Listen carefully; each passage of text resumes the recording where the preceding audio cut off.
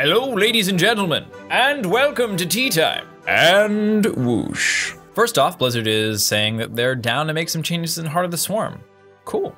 Blizzard reminds us that this beta has already been the entire length of the Heart of the Swarm beta, and it looks like what's going to happen is we'll have a month of large changes left over where we can still make big stuff, and the rest of the time we'll be polishing and working on making little things perfect, and then whoo, we will have the fantastic Legacy of the Void, hopefully this year. So, Protoss Warpin changes are happening, and this is so good because this is a real and interesting and solid and fantastic defender's advantage in the Protoss matchups that we've been hoping for for a very long time. It's finally here. We'll have defender's advantage once again in Protoss, and uh, I think that's going to make a lot of people happy. A lot of changes are going to have to happen as a result of this happening, uh, but I think that they're all they'll they'll all be good change. They'll all be good the one thing that's different from the last update that we got is that the Nexus has been added in. So it's not that the Nexus will produce power, it's that pylons that touch the Nexus will have that faster warp in power, which will be a different color. And I think the, the question that's on all our minds is, you know, what color is that going to be? Blue, normal, great. Will purple be the cool warp in? Will it be gold of like the golden armada? Uh, similar also to blue and, and gold minerals, link up there, huh? It's difficult to tell, but we don't stray away from those hard-hitting questions here on Tea Time. Terran mules are being removed, and I think this is great because it actually affects scan in an interesting way. So before, scan cost you a mule, or cost you 270 minerals.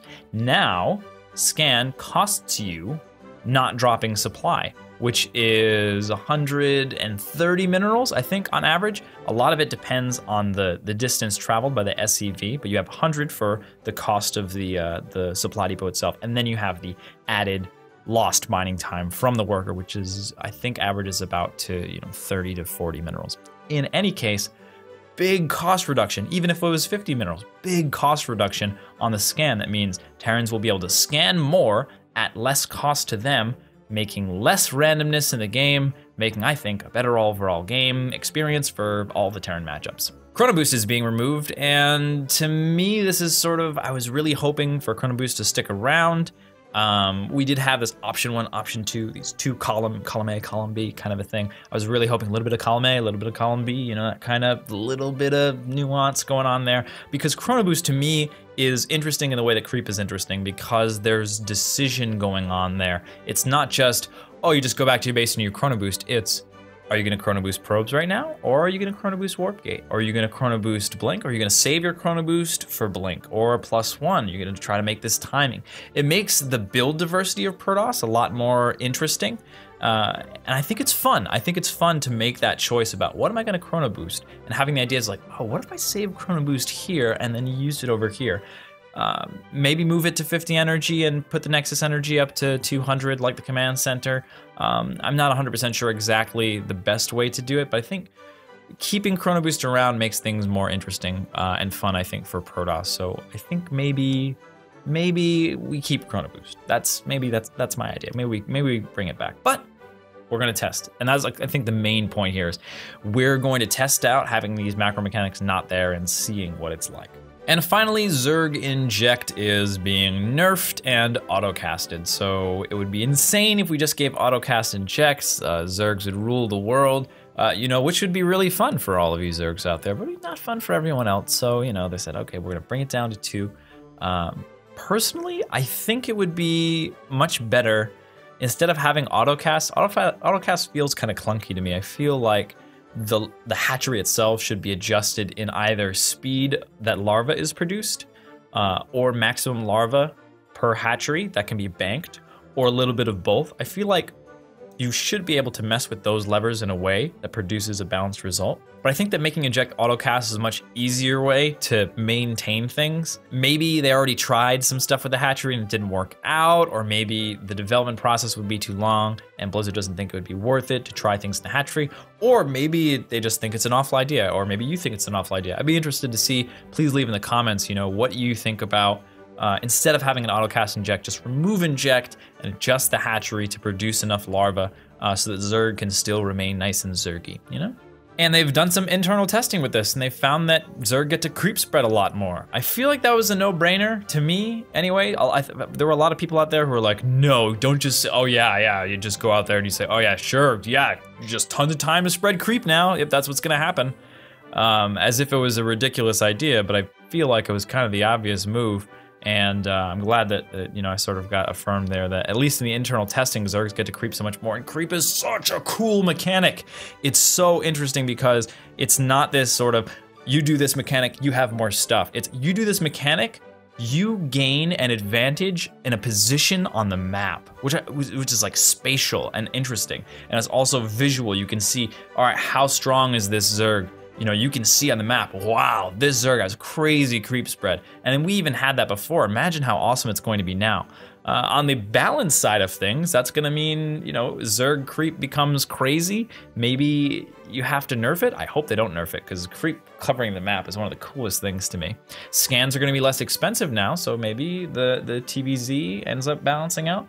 It'd be interesting to see exactly how everything works out. There's so many variables going on. Trying to theory craft about what is gonna happen in the future is kind of useless because it's just gonna be crazy uh, and awesome and lots of fun. So uh, I'm gonna enjoy jumping in there and, and mixing it up and, and having fun, and hopefully you will as well. To wrap things up, we only have a month for large changes, so I would like to make my request for two changes that I think ought to happen this month before it's too late. Number one, reduce the efficient saturation point. To me, there's nothing more important than reducing the efficient saturation point. There is nothing that will make StarCraft better in any sort of larger magnitude than reducing the efficient saturation point. What the efficient saturation point is at currently is 16. It's the point, it's not the point at which you can't make any more workers to get income. It's the point at which each worker is gonna mine less than the one before. It starts to dip off, right?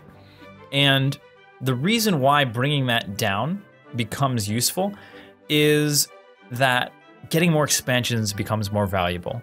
And in Legacy of the Void especially, there are a lot more expansions being taken, but there's not as much benefit from the expansions to sort of offset that from Heart of the Swarm, or just in general the idea of gaining uh, a significant income boost from having more bases than your opponent, taking the risk of having lots of bases or more bases than your opponent, right? That that's a risk. The reward of that should be a higher income, regardless of your opponent's worker count. The big part about this change, what it creates, is this whole world of strategic option that has been pretty much non-existent in StarCraft 2 which is cost inefficient trading. Being the player that's going to say, okay, you're gonna turtle up, I'm going to take a bunch of bases, trade cost inefficiently with you, and still win because of my superior economy. Technically, that's something that can happen in StarCraft 2, but it's such a weak option right now, and it would be so cool, especially for Zerg, but even in the other matchups too, it'd be so cool for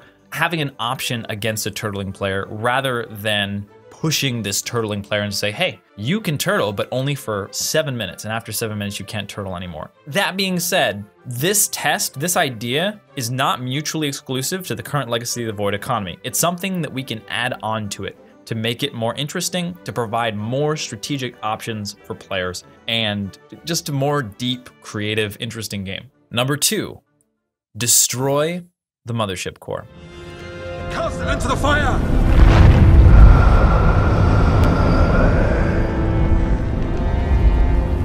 Destroy it! Remove it from the game. Don't try to patch it, fix it, try out new abilities. It is, in its essence, a centralization of power. And the interesting thing about StarCraft is not that all the power is in one place like a MOBA where you have one hero and that's where the power is. Maybe you have five heroes, you're five different spots.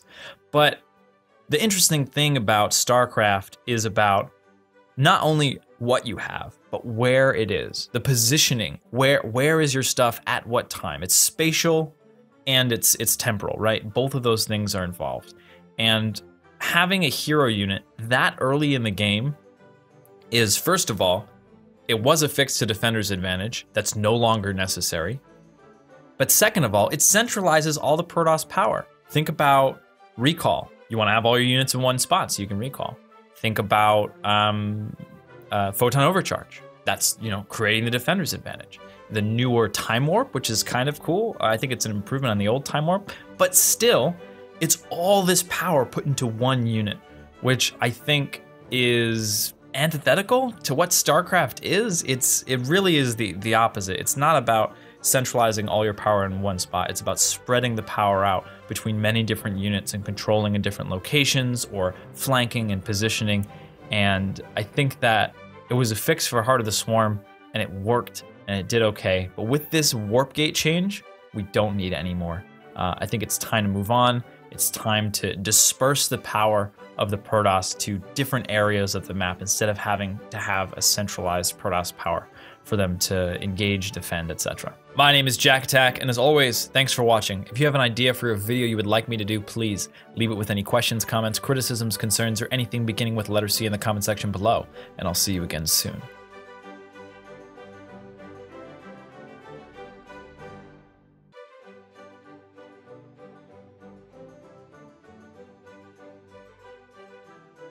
You're losing about 130 minerals. Be- uh, fucking itches on my neck. Need to get a haircut. Anyway. Oh, my the Protoss is scouting. Chrono Boost. Chrono, Bo- Chro- Chrono Boost has been removed to where we need to be, my opinion. Ah, I, I need to stop saying the word need. It's so fucking arrogant. Jesus. That's what happens when I get emotionally involved. I'm just like, oh, this needs to happen. It's like, no, it doesn't need to happen. It's just um, it's just a thing that could happen. I'm gonna get a bunch of bases and trade cost inefficiently. The the main thing, the the, the essential thing that I want to bring up, up to wrap things to wrap things up to wrap things up to wrap things up. Ugh.